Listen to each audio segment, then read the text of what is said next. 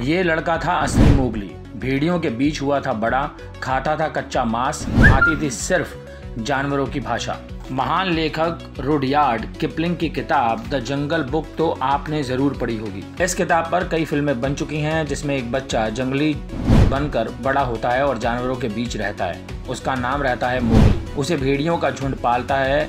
अगर आप सोच रहे होंगे कि ये काल्पनिक किरदार है और ऐसा होना नामुमकिन है तो आप पूरी तरह से गलत हैं। भारत में सालों पहले असल में एक लड़का था जिसका रियल लाइफ मोगली था और उसकी कहानी से प्रेरणा लेकर रुडियार्ड किपलिंग ने इस महान किताब की रचना की थी।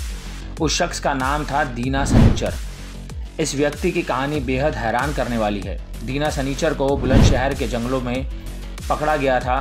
दीना सनीचर की ज़िंदगी फ़िल्म वाले मोगली जितनी आसान और रोमांचक नहीं थी। उसे काफ़ी संघर्ष करना पड़ा। वह 1800 के दशक में पैदा हुआ था। रिपोर्ट्स के अनुसार, उत्तर प्रदेश के बुलंदशहर में अंग्रेज़ शिकारियों ने उसे साल अठारह सौ सड़सठ में पकड़ा था। उन्हें जंगल में एक लड़का दिखा जो भेड़ियों के साथ जंगल के चक्कर लगा रहा था। हैरानी की बात ये थी कि वो अपने दोनों हाथ और पैरों के सहारे चल रहा था। उन्होंने बच्चे का पीछा किया तो वो एक भेड़िया गुफा में घुस गए। शिकारियों ने गुफा में आग लगा दी, जिसकी वजह से उन्हें बाहर निकलना पड़ा।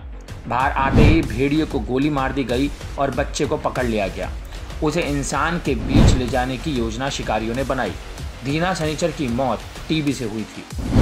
खाता था कच्चा मांस। जिस वक्त बच्चे को पकड़ा गया, उस वक्त उसकी उम्र छः साल के करीब थी।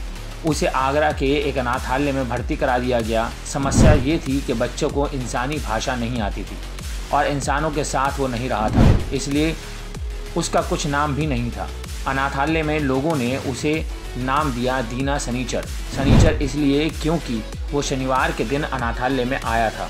बच्चे को लिखना, बोलना सिखाया गया, पर वो नहीं सीख पाया। हालाँकि वो सिर्फ़ जानवरों की तरह ही आवाज़ें निकालता था।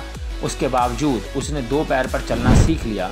शुरू शुरू में उसे कपड़े पहनना अच्छा नहीं लगता था। पका हुआ खाना भी वो नहीं खाना चाहता था, क्योंकि उसने हमेशा कच्चा मांस ही खाया था। उनतीस साल में हो गई मौत। कई रिपोर्ट्स ने बताया कि वो प्लेट से खाना तो सीख गया था, पर उसके बावजूद हमेशा खाने को सूंघ कर खाता था। अनाथालय में उसकी दोस्ती एक और जंगली लड़के से हो गई और इंसानों से जुड़ी एक चीज़ उसने मन से सीखी, और वो था धूम्रपान।